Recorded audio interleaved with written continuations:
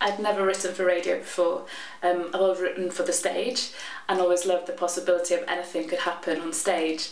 But radio is even more than that. Um, the possibilities are endless and you can really push your imagination.